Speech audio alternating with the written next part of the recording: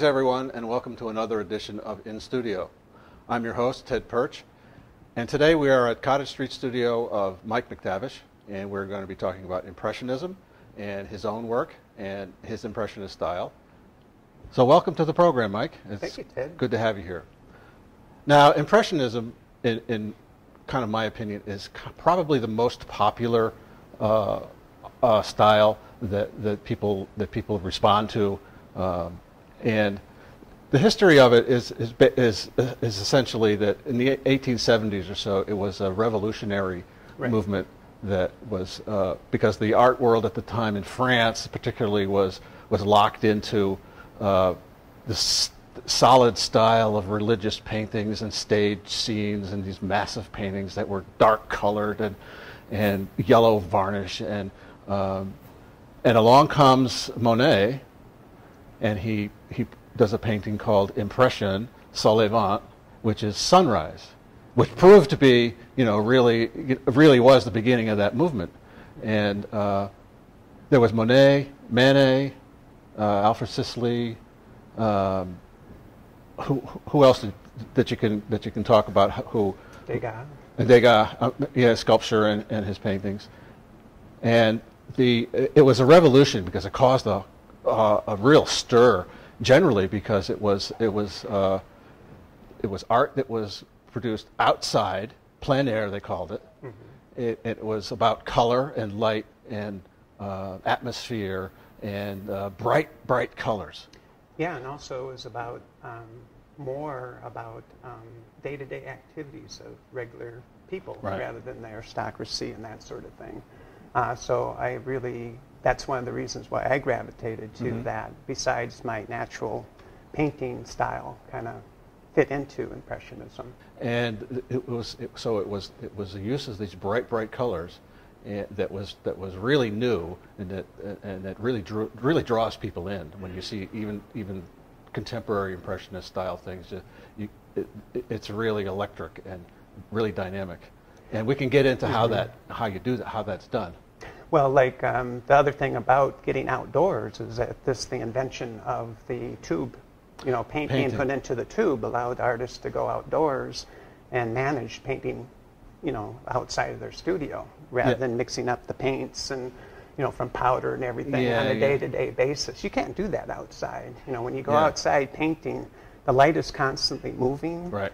And you gotta, you can't dally when you're right you got to work quickly Right. Yeah, yeah. And that's part of impressionism is what's your first impression? You're looking around, you're trying to get excited about some part of nature, and um, there it is. And then you start painting, and within 10, 15 minutes, half an hour, the light changes. right it's a completely different scene Absolutely. and, and, and I suppose your painting can change or do you sort of stay with your initial impression well, that's one of the things that you learn is that you don't follow the light. Ah. um, as the day progresses, the, um, the light will change. And in some paintings, you might see that the shadow line is at a different perspective throughout Right. the day. So some artists will, you know, pick up on that. But the thing is, is to really focus on your original concept and then paint it. And then at some point, you're painting from memory. And I find that a very compelling part of uh, Yeah. outdoor painting. Yeah. So as you were saying, that uh, impressionism, a lot of the technique is about uh, memory and using the fleeting effects of light. So, and one thing that was revolutionary, or is revolutionary about impressionism, is that it is a concept. You work from your perception, which was really new at the time. That most, a lot of artists just work from stage figures or models and, and that sort of thing. But getting outdoors and trying to capture light and air and whatever your perception was at that moment was was really is, is really part of that, particularly in plein air when you're outdoors. Exactly. It's um, you have to go with something in your mind in terms of uh, planning the, the composition, everything like that. And as the day progresses, you need to hold to it. And I read somewhere that that uh, in, in, in part of the history of impressionism back then was that a lot of it, some of the influence came from the works of Constable and uh, J.M.W. Turner, two of my favorite artists, by the way. But in the way they began to depict, they were working outdoors, or they began to depict landscape that, that, that started to become more diffuse and more impressionist. Of course, that was many, many, many years ahead, behind, you know, 1700s or so. But they, they there were artists that set the stage as it was as as as time went by. Exactly, and um, in terms of how I interface with uh, impressionism, came um, from artists who studied under Monet, and mm-hmm. in fact, there's an artist named Guy Rose who was a neighbor of of yeah. Monet, mm-hmm. and uh, they painted together outdoors, and Rose picked up quite a few things from that. And then when he came back to the United States, he went back to California mm-hmm. and started this whole. He didn't himself start, but he got connected to uh, this whole movement of Impressionism in the United States, California Impressionism. And that's where I uh, really got in tune. There's one artist in particular called uh, Edgar Payne, mm-hmm. who was primarily self taught, but and he wrote a book on composition of outdoor painting. Hmm. And I just, that was my Bible yeah. when I yeah, first yeah. started. Um, it just was amazing because he talks about the fundamental principles of what you were mentioning of going outdoors, finding a concept. You know, what can you do with nature because you can bend and twist and move trees around to help your composition. It's your interpretation. Your interpretation. And um, when is it going too far and that sort mm-hmm. of thing. And there's all these different theories. And then there was compositional techniques of um, uh, serpentine uh, lines going into uh, a painting, or yeah. there could be a C, or um, an X, or a zigzag. Mm-hmm. You know, it's just all these interesting things. And then the thing too is you then disguise those techniques within your painting itself. And um, that was very illuminating for me. And yeah. I think that really influenced me more than going to the French Impressionists right. themselves, personally speaking. Well, there was a whole, from, from the movement in France, there was a whole uh, import into you know American impression.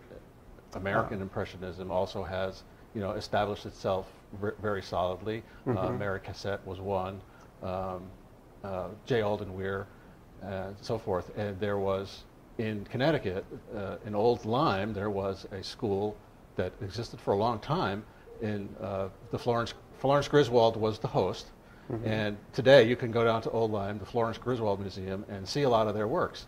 So mm-hmm. th- these these different schools, like you're you're primarily influenced with Calif- California Impressionism, which was a very strong movement, but all all over the place, you know, Impressionism began to blossom, mm-hmm. and. Uh, so that was uh, th- so that was kind of the effect of what was going on. Yeah, it sparked just, artists' lives all over the place. Yeah, there even, a... even John Singer Sargent, who was not considered a, an impressionist, but some of his later works, you know, he, he, he moved into that a little bit, and uh, uh, there was a, recently there was an exhibition of his works in Boston, and mm-hmm. Uh, you could see some of those works that were that were had moved away from his portrait style and some of his uh, Oriental paintings and uh, he and he you know he was working with that as well. So mm-hmm. it, it, really impressionism has really influenced a lot.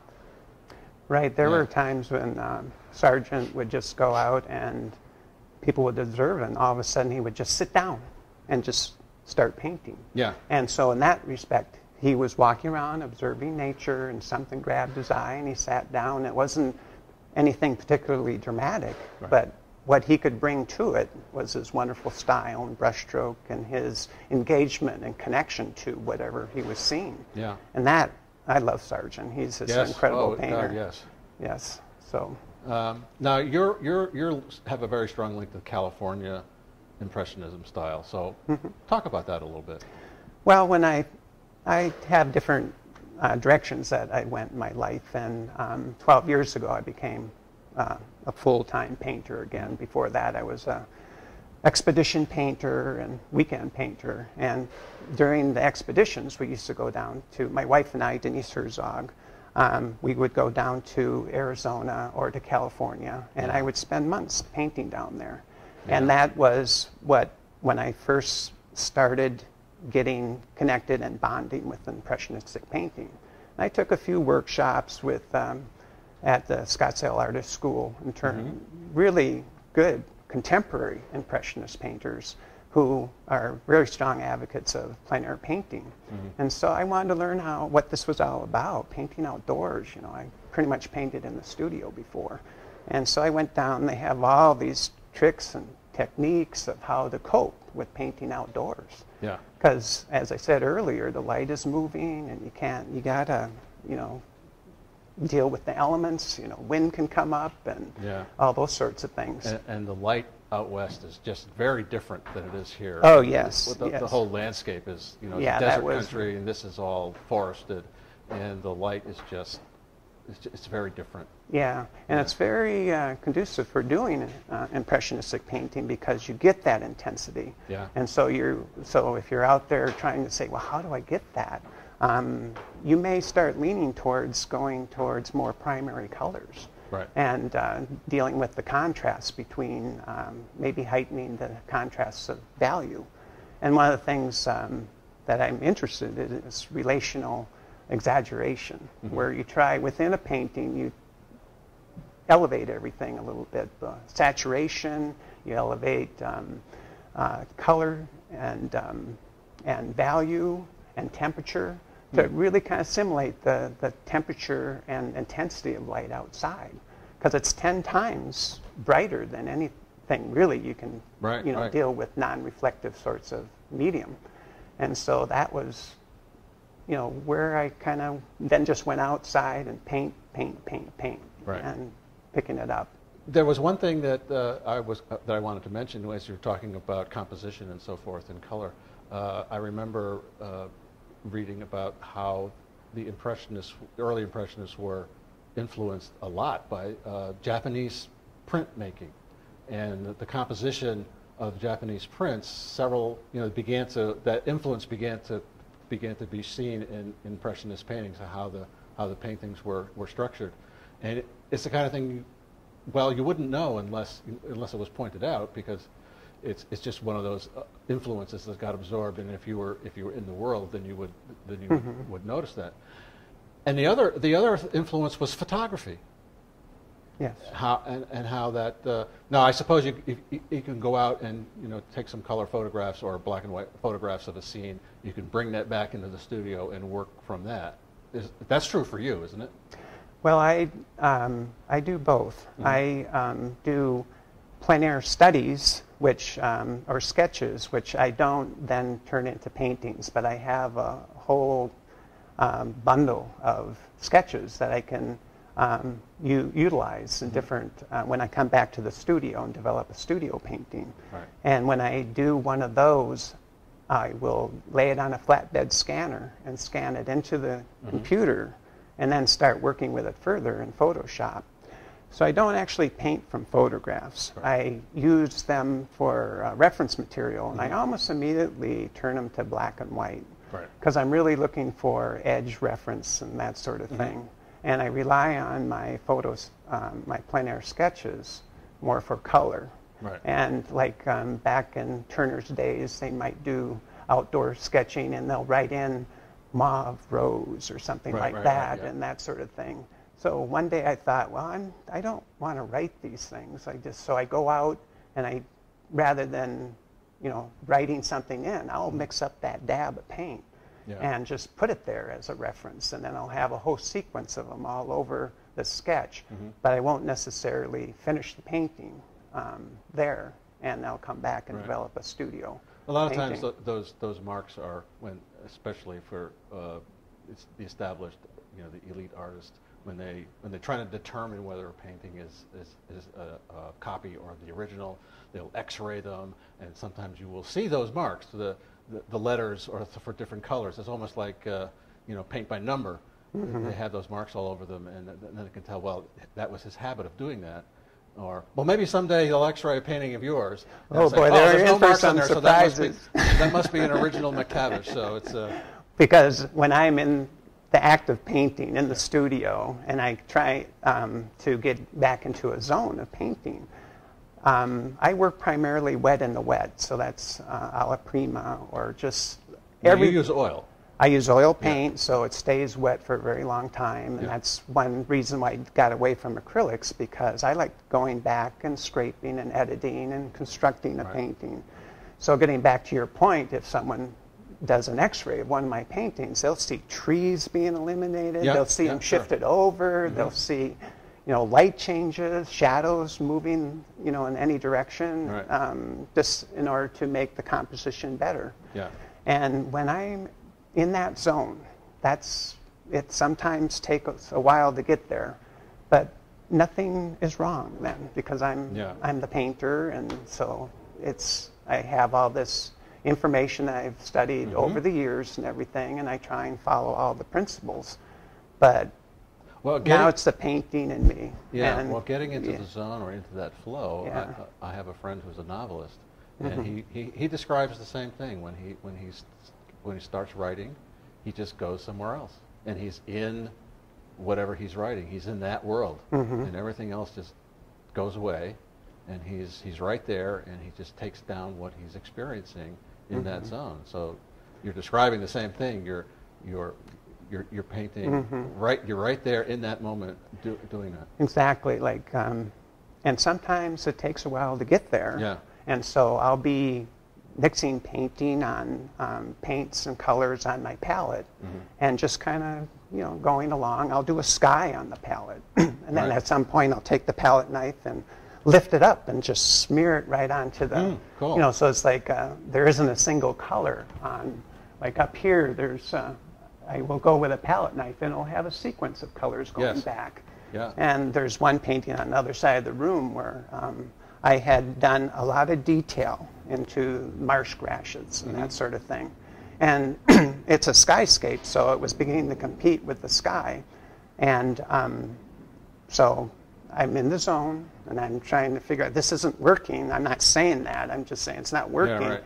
And there was a, a, a seven. I have a seven-inch palette knife. Yeah. And I just grabbed it and I just went one swipe all the way across. It's a you know five Yeah. foot wide painting. Yeah. And my eyes just bugged open because Yeah, it was yeah. the beginning of the solution of what I needed to do. It softened the edges, the marshes in the water. It looked like the tide was coming in. Mm-hmm. Yeah. And wow, you know that's great. And that's how I like to paint is being somewhat on the edge and then being in that zone.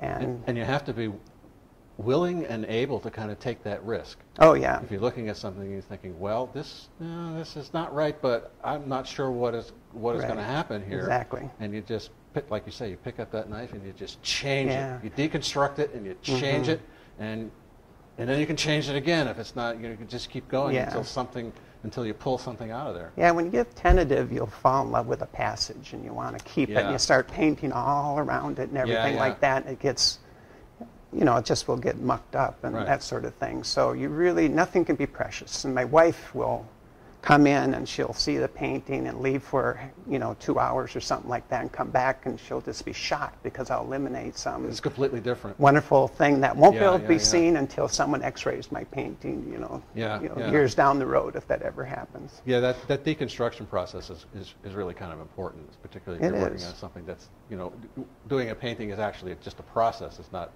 you know, it's not immediately Mm-hmm. the, the view that you want to uh, present. And I've done that Mm-hmm. too. I just, I look at things, no, that's not it, but I'll just, I'll just do this.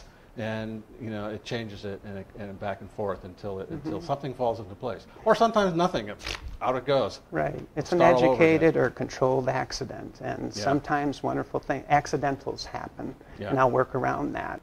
When I did that first stroke, I only allowed myself like very limited re-entry into that because I didn't want to kill the energy that was generated from that. And that's part of impressionism too, is that with uh, with the broken brushstrokes and that sort of thing, you can create a sense of movement. And when you're outside painting, that's one thing you notice. There's wind blowing, there's the water rippling. And I think the Impressionists really wanted to capture that in some way. So with And- the short, with the short yeah, with broken brush really- strokes, you get this kind of visual vibration Yeah, going yeah. on. And I really think they were tuning into that. And, Mm-hmm. and that's something that's very important to me is like uh, and the, how you deal with the edges and breaking up the color and how you apply uh, the brush stroke will create some of that, right. that you, energy. You want to you want to create that energy. Yeah, that, a sense that of grabs wind. people. Yeah, Otherwise, it just right. lays there. It's like, Yeah. huh?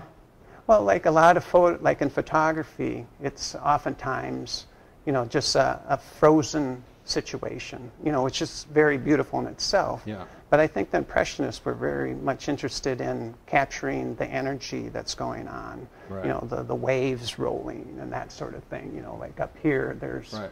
you know, a lot of different brushstrokes kind of simulating that movement and jostling back and Right. forth. It and draw- it-.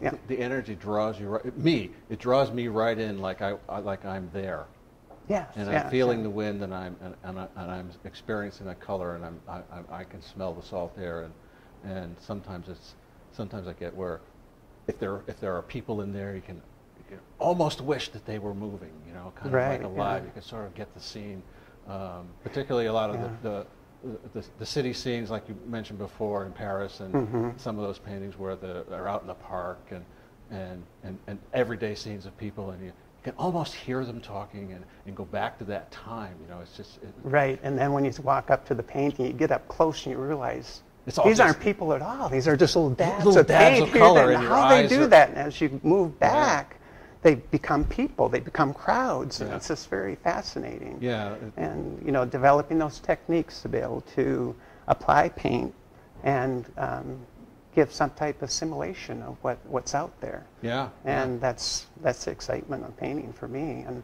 I like using texture to generate that action, yeah. that texture energy. is really really Like- important. and it. most painters like um, that I are really compelled to look at, they reveal their brushstroke and Mm-hmm. they have texture in their painting, and you can kind of see where what was going on in their head at the time when they Yeah. were doing because you see the brushstroke there, and then when you step away, it becomes you know a recognizable representational scene. So you were, you, we were talking about how some part of your process about how you, when you lay down a color and you're in a zone, and you some at some point you step back and look at things, and um, so there's some part of there's an emotional connection to, to this all of this as well, because uh, if you weren't emotionally connected to what you were what you were putting down, the paint would just lie there like a blob, and Right, it really wouldn't have any wouldn't have anything to say.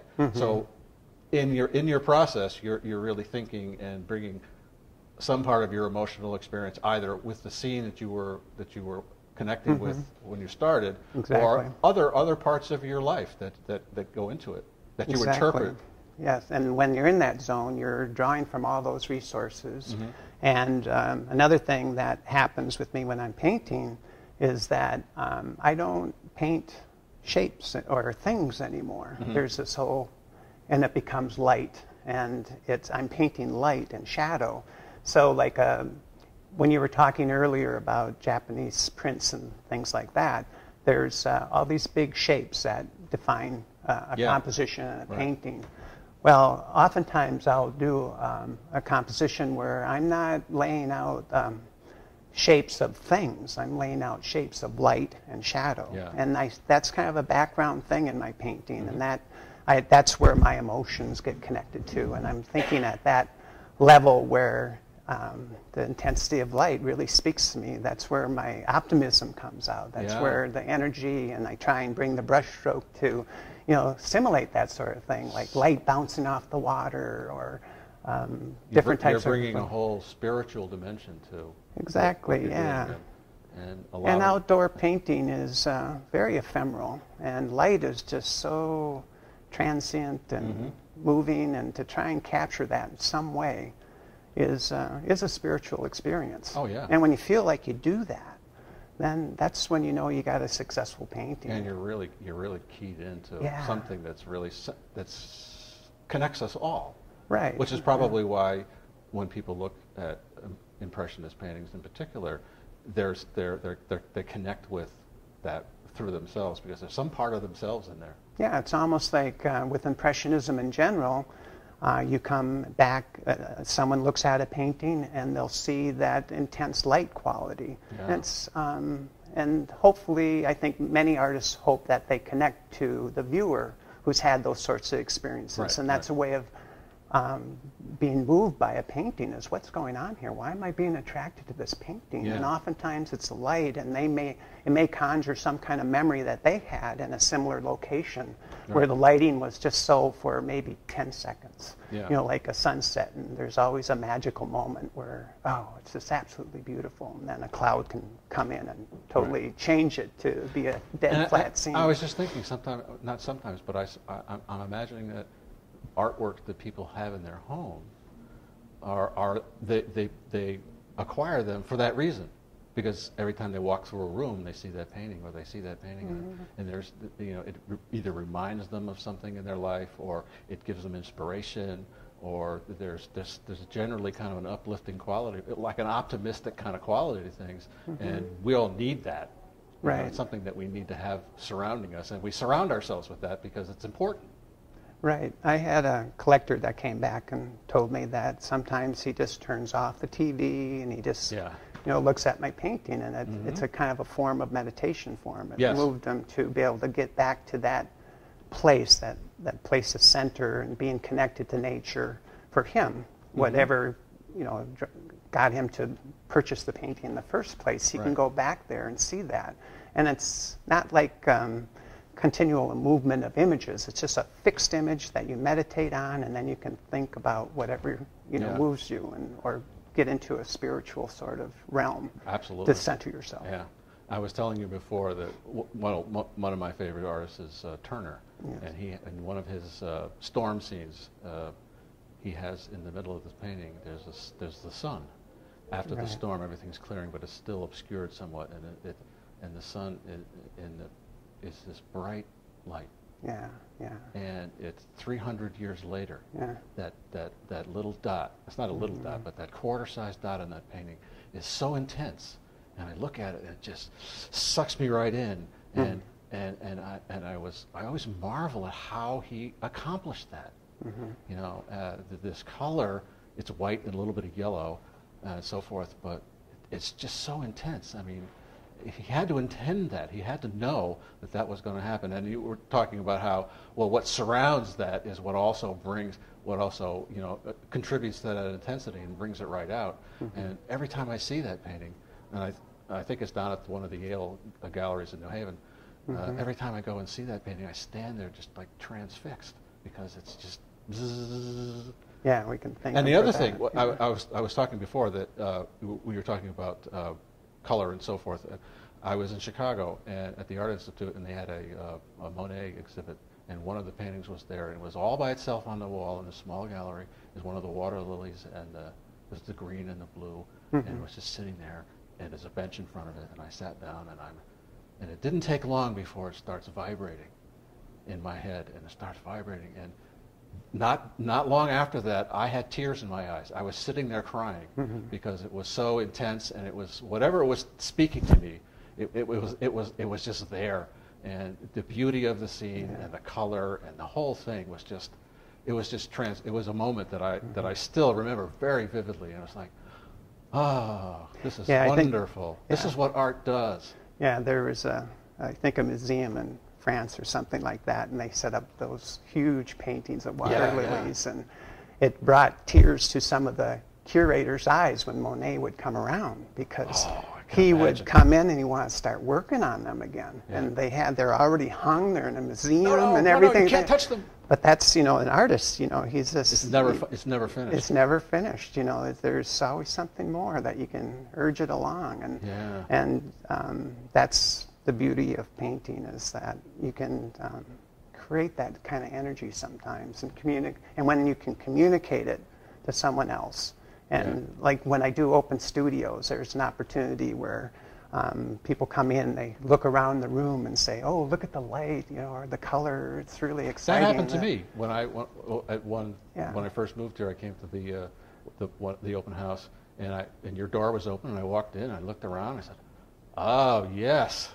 Oh, thank you. Said, oh yes, because all the all the paintings were here, and just surrounded by this light and the color. And it was winter time, but it, it just it just brought just brought me to wherever they take you, you know. And I just surrounded by this lovely light and the color that was just so It, Yeah. it was just so wasn't soothing so much, but it was that energy was there, and it's like, Mm-hmm. oh, great, you know, this is wonderful. And I, th- I think I Mm-hmm. actually said that. I said, oh, Mike, this is just wonderful. Right. Yeah. And uh, having all this, you know, doing this.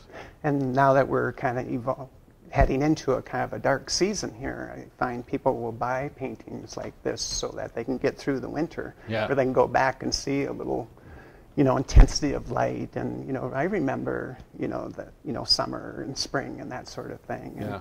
I also find that I sell winter scenes more during the summer because as it gets further away, you know, Right. it becomes more endearing. Well, you know, when it gets hot and humid, we're we're, we know, want we're cool just off, dying right. because we want we want to cool off. And you look at something that's cool in a winter scene, it's like, oh yes.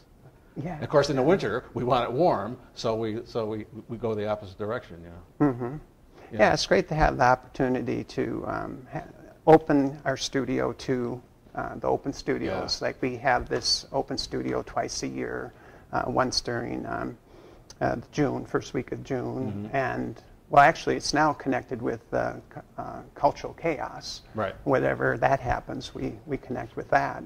And then also during the winter, which is coming up December 5th, 6th, and Right. 7th. It's important to mention that uh, the first weekend in December, December 5th, 6th, and 7th, and also on December 13th, the following weekend, here in Cottage Street is open studio. Uh, there will be what 57 artists or so. Most of the studios will be open for people to come and wander through and browse and hopefully uh, do some holiday shopping. And uh, it's a wonderful experience because a lot of times you come here and you know people are working, their doors are or they're not here. But this is an opportunity to come and see what is happening in, in downtown Easthampton.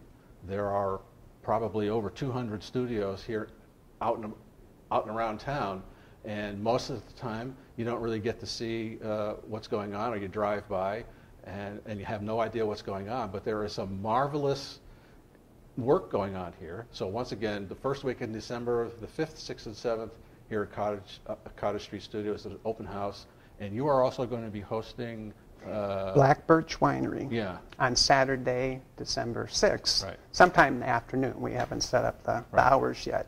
But I thought that was a good wedding between uh, wine and, and painting. And Impressionism seems to be a good mix somehow. There's, Coming uh, from France, wine country, the yeah, whole thing. right, and uh, and also getting into um, seeing things a little bit differently. You know, a little bit blurred vision is, you know, can be helpful.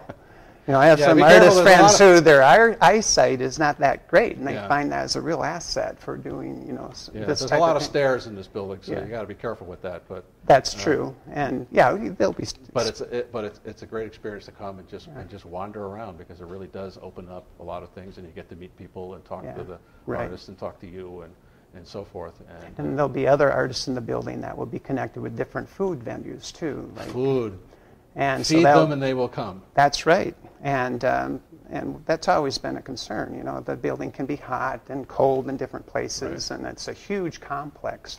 In fact, a lot of the floors, so- ways I find out about some of the artists in here, I listen to in studio to find out what's going on. There's artists Oh, all really? over the place. Well, you seem to be. that's great, thank you know, you. getting quite a few. I never really them. know. We, we never really know, you know, who's watching or what but it's very informative, and I really Yeah. enjoy your program. Um, so anyway, there's going to be food venues and that sort Yeah. of thing. So it should be a very good event. And as I said, there's going to be over 57 artists here, five Yeah. visiting artists, and so there's, it'll be pretty exciting. And you don't get that anywhere else. I mean, that concentration of people that you can go from studio to studio and see many different things. Sculpture, there's painting, there's all sorts of there's all sorts of stuff. So um, make it a point of, of coming down because at least one of those days. It's a, it's a whole weekend, and you can't you can't go wrong.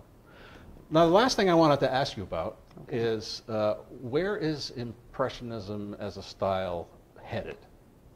you know, it started 100 years ago, and it's and it's gone through all sorts of permutations, and different artists and so forth have have come and gone and made their contributions to moving the style along or on to some other level. Uh, is there is there you know is is impressionism kind of moving evolving into perhaps another another uh, branch of its tree or another style?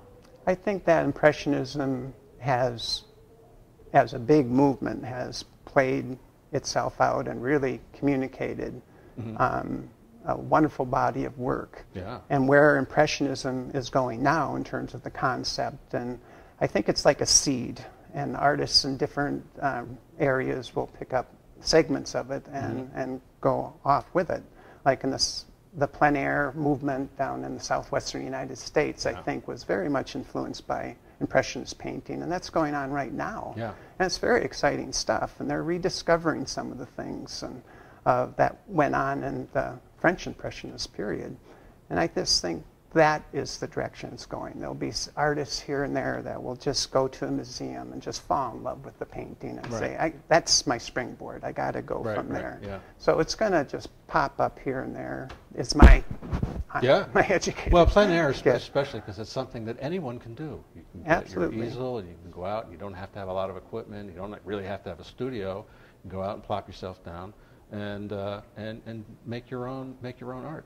I know here here in this area there's a plein air weekend. Uh, it's part of ECA perhaps, but uh, where they have a contest and people go out.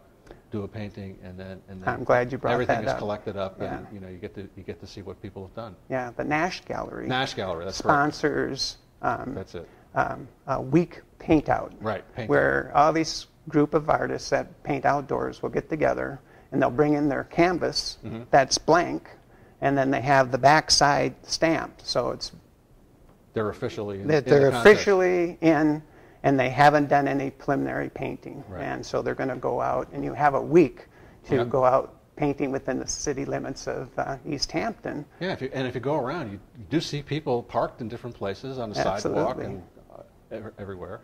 And it's an opening that I really encourage you to go to because all the artists who have spent that week painting Mm. are there.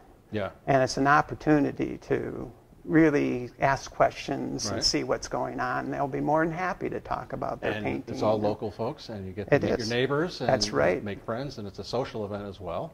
Yes. And builds community, absolutely. Builds community, yeah. yeah. So that's now that was in the spring, right? Or Well, usually, no, it's in September generally. Oh, well, that was What- September. This is November. In fact, so, it yeah. just just happened. just happened. And then, um, which is I think the later part of September. Yeah. But um, but it's at the Nash Gallery, and you can just go to their website, and I think Right. uh, you can find out. And Nash. Gallery is another is another venue. Uh, she always has uh, different paintings uh, displayed and openings there, and it's right up the street here on Cottage Street, right in the middle of the block, and uh, it's a great place to go, and it's a very social place, and uh, it's, it's a good it's a good it's a good community. Uh, uh, um, it's a good part of the community. Yeah, she represents a lot of local artists, many people Yeah. in this building, and so it's just a great way to go in and just see what's going around on around town creatively. Yeah. and she does a wonderful job of you know running that gallery and and I think that one problem for many people is dealing with price points with paintings. Oh yes. and um, she is one of the few galleries that represents me Mm-hmm. who will deal with layaway painting Yeah. you know pri- um, not layaway painting but layaway pricing scheme Yeah, Mm-hmm. for painting where you can just put a modest amount of money down Yeah.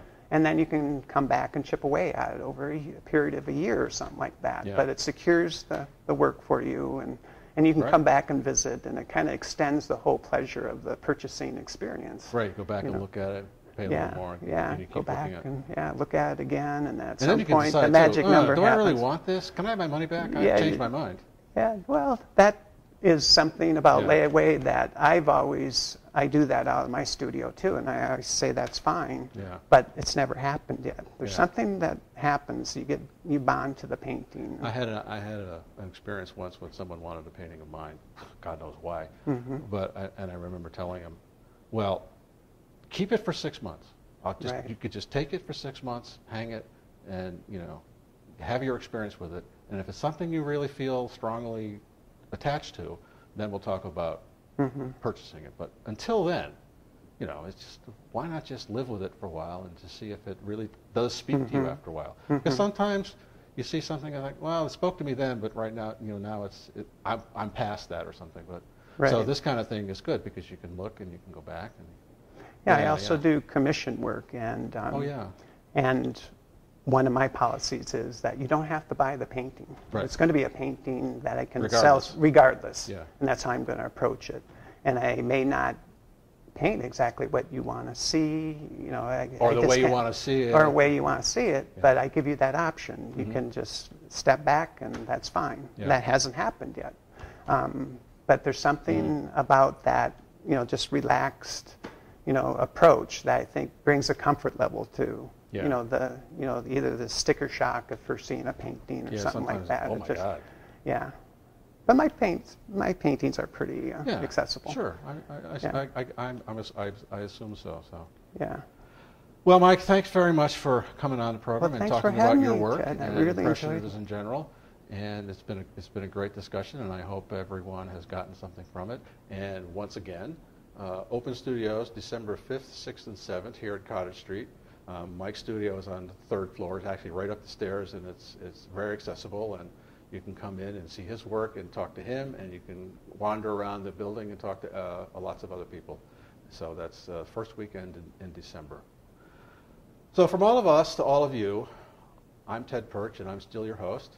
And Mike MacTavish, has been great to, to have you here, and Thank it's you. been fun. So until next time, we'll see you again on In Studio.